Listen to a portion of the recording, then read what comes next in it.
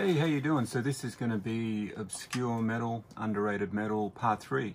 And Happy New Year. Um, the date of this video is the 5th of January. And yeah, it's really cold here in Japan. There's been a big earthquake on the other side of Japan.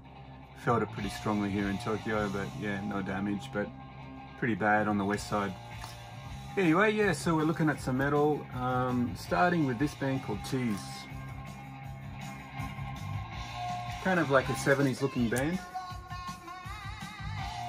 And this is a song called Gonna Have a Good Time Tonight. So this song was actually covered by Jimmy Barnes and Michael Hutchence from INXS and it got really big in Australia. But yeah, this is the original version of the song. Um, got the Japanese insert, so I'm missing the Obi strip. They're from Canada and they only put out four albums. First one was think this one. Um, then they put 78, um, a live album in 79, and then a second album in 79, and their final album was 1980. After that, just compilations. Yeah, pretty good music, you know. Um, kind of reminds me a little bit of April Wine. They've got a bit of a connection with April Wine, I think. All right, next up, we've got the band Money. Pretty cool cover. They're an American band. Album's called Trust Me. Uh, this album you can get in, in a different cover than this, just with sort of like a cartoony businessman on the front. I think this cover's better. Got the band on the back. Um, these guys are from Ohio and they were in a 1980s band called The Muffs or The Muff Brothers. And um, yeah, they changed the name to Money. They opened for big acts like Cheap Trick, uh, Night Ranger, UFO, Iron Maiden, uh, Gamma. So yeah, they um, did a lot of touring, I guess, early 80s. So there's a Trust Me 1 and a Trust Me 2 album. Um, the Trust Me 2 album was produced by the guy from Badfinger. But yeah, 1982, the first album came out, then 83, and then they put an album out in 87 called In the Red. And that album, pretty expensive. Like there's only two for sale on Discogs and they're, you know, up over 300 euro on CD. Must be really rare. Yeah, pretty sort of eccentric rock music really. Wouldn't call it metal. But yeah, they're on the heavy metal label, so Alright, next up we've got a band called Zero Nine. You've got a girl in a pool. So yeah, these guys, they started in 78. Their first album was 82, called Blank Verse. Then I've got their third album actually called Headline. This album was after that. This one was 1985. And this one's called White Lines. So, you know, in the 80s there was a popular song called White Lines about probably cocaine, I guess. Yeah, this one sounds pretty good. It's a bit AOR, but heavier than the last couple.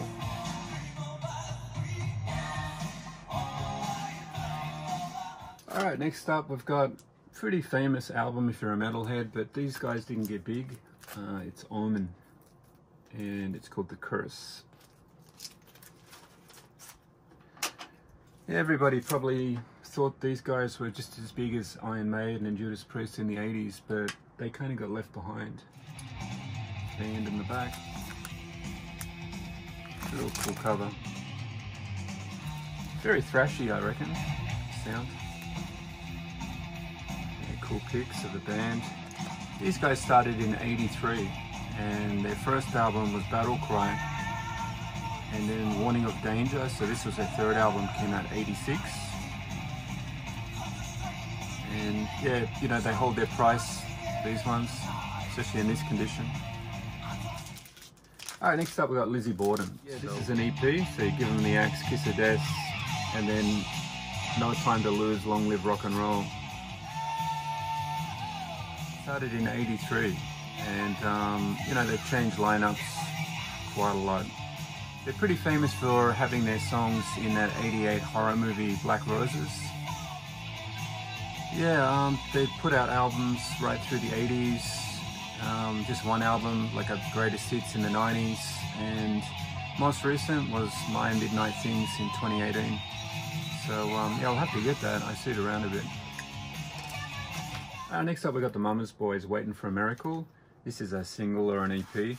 Um, I'm including these guys because they're very sort of underrated, you know. But this is when the band kind of went AOR in 1987. This is a good one to grab. It's not the best cover in the world though.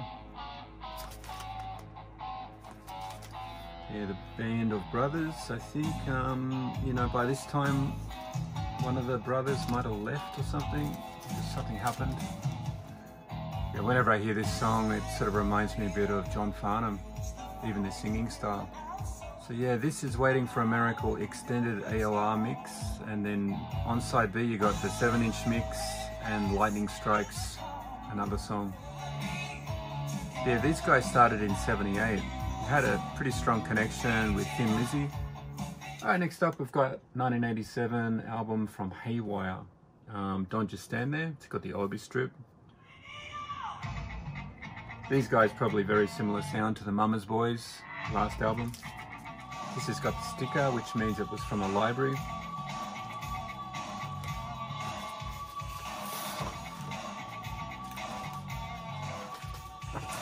Japanese insert. They're not bad, you know, it's kind of got Europe, Bon Jovi, sort of AOR vibes, Loverboy, you know, all those kind of bands. Um, there's only one for sale on Discogs and it's going for 4,800 yen.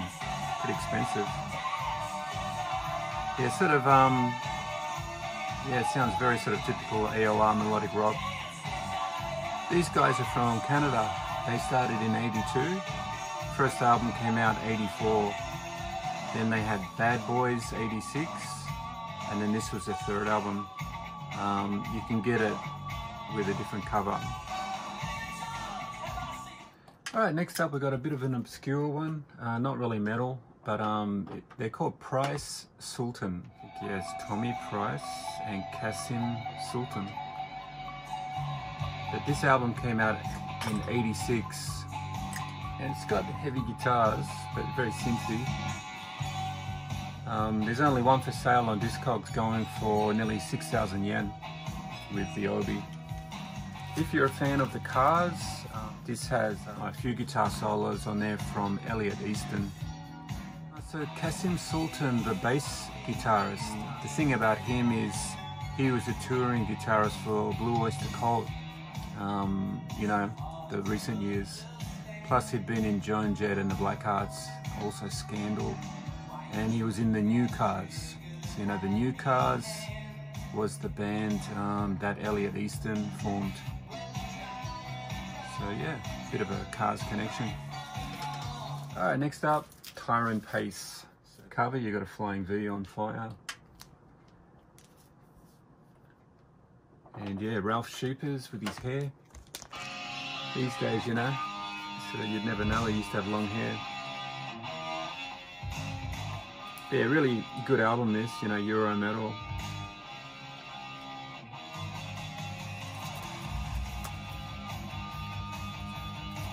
Yeah, sound very similar to Judas Priest. So, you know, he nearly got the um, Judas Priest singing spot when Rob Halford left. Him and Ripper Owens, you know, were the last two sort of, um, you know, contenders. But probably he wanted more money, maybe.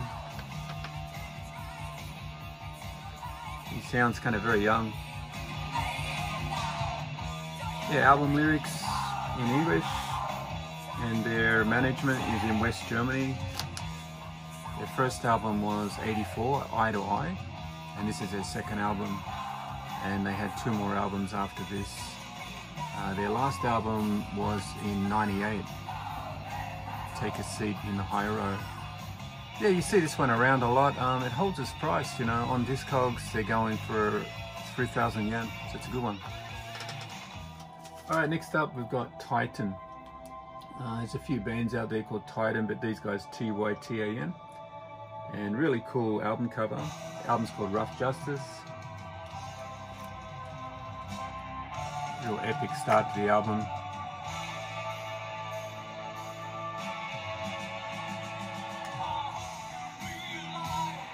It sounds a bit like Kiss to me. Not bad. Yeah, these guys, um, they started back in the new wave of British heavy metal movement, um, 81 to 83. Um, their 1985 album was actually recorded in 82, this one. Mixed in 83, but it wasn't released until 85 because their label had gone bankrupt. Yeah, but you know, sounds pretty good for 85, I reckon. So yeah, they only really um, put out this album. They put an EP out in 1982 called Blind Men and Fools, which is this song. Yeah, they had a lot of label trouble and um, a lot of lineup changes and things, so um, yeah, it really hurts the band. Next up, we've got Demon. This one is British Standard approved and um, I've just sort of jumped through the first song because it starts like with a bit of um, you know, sort of ambient music. But this song is called Cold in the Air. Um, and the album is actually dedicated to Malcolm Spooner and Phil Tunstall. So they died when this album was just uh, recorded. That's Malcolm Spooner there. And apparently these guys kind of started out as a hard rock band, like, you know, they're called Demon, but they were never really heavy metal. Um, but for this album, they went into Pink Floyd territory, sort of classic rock. It was released on a small independent label and it wasn't commercially successful. And then Mal Spooner died later in the year, so um, everybody thought the band would break up. But then they got a keyboard player in and um, they put out more albums right through the 80s and you know they're still going. All right, next up we've got Black and White. So this is the album. Um, I had it on cassette as a kid, so I was able to find it again over here. And they only really put out this album and this single. So I finally got this single, and it's called Rainbow Bar and Girls. And you've got Rainbow Bar and Girls rock mix, and then side two, Tease After School mix, and the Urban Gorilla mix. So it came out in 88 and um, you know, this is kind of like when rap metal was getting big. Um, sort of hard to find out a lot of information about this band. There seemed to be a black guy and a white guy. So you got Jeff Gaskins, I think he's the white guy, and then Victor Wade Williams. And um, you know, this is all they're known for, these two things. So, you would probably have to go into a time machine back into the 80s and work out who they were and because it's really hard to find out but it's really good music um, they have like real rockin' solos like in all their each song yeah sort of you know um, crossover territory you know getting uh, metalheads into sort of more hip-hop kind of music worked